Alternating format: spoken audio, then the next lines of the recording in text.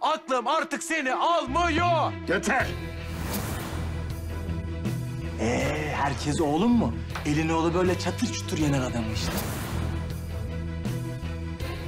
Aşk kaldığı yerden devam diyorsun ha? Her şeyi göze aldım diyorsun. Ben de Doruk gibi bir araba istiyorum. Allah'ım sen koru bizi bu kızın şerrinden.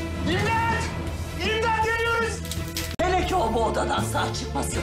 Var ya dünyayı başına yıkarım gel. Asiye, benim sevgilim. Kardeşlerim dizisi yeni bölümde neler olacak?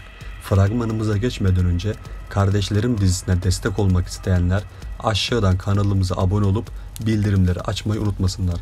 Ve ayrıca Kardeşlerim dizisi asla final yapmasın diyenler videomuza like atsın sayımızı görelim.